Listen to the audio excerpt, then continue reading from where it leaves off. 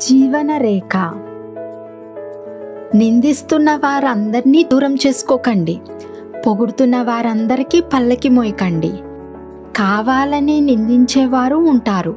మీకు మంచి కావాలని నిందించేవారు కూడా ఉంటారు. ప్రతిఫలం కోసం పొగిడేవారు ఉంటారు. పరుల హితం కొరకు పొగిడేవారు కూడా ఉంటారు.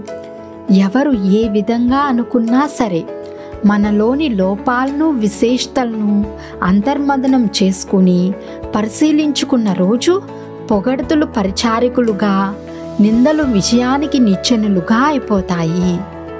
ఓం శాంతి.